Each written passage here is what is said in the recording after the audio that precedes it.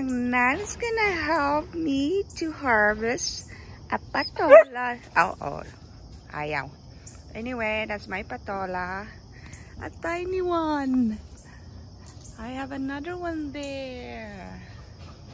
I already got two. Harvested two. Hello! Hi, everybody! We're gonna cook some patola today. I have one there. Ginawa kong binhi. Yan po. Gagawin ko pong binhi yan. Magluluto po kami ngayon ng patola with sardinas.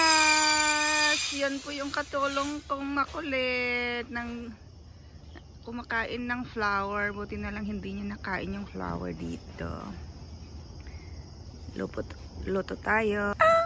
There's another helper behind me. Hi, Aggie. Hello, sweetheart. oh, you're stretching, Mama. Oh, yeah. Ayan lang po yung na-harvest naming patola sa labas kasama ang mga alaga kong pasaway. Ayan po ang main ingredients natin. I-prepare na natin. Simple lang yung patola, onion, garlic, yung sardinas natin, miswa, black pepper, salt, tsaka oil. La yan lang po. Prepare na tayo. Ayan, nagisa na po yung onion tsaka garlic. Medyo sunog-sunog na nga eh. Sunod natin yung sardinas. Gisa lang natin para mawala yung lansa niya.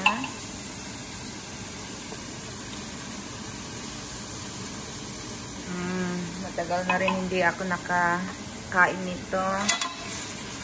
Kaya, gluto ako ngayon for lunch.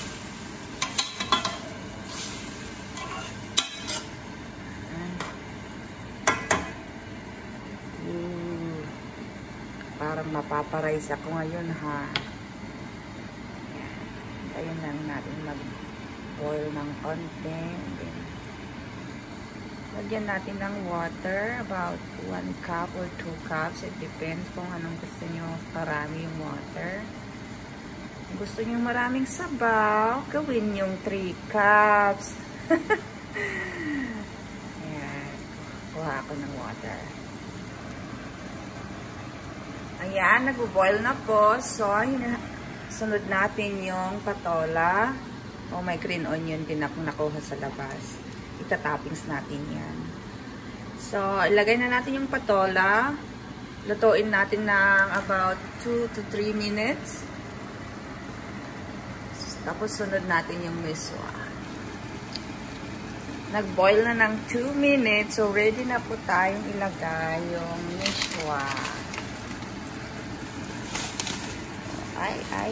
Nalagay na nga lahat. Nako. Hmm. Yan. Ay, fancy naman. Ay, ilagay ko na rin yung green onion natin.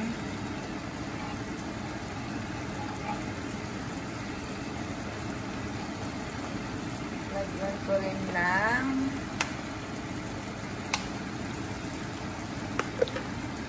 red pepper. Kasi gusto ko ng maanghang.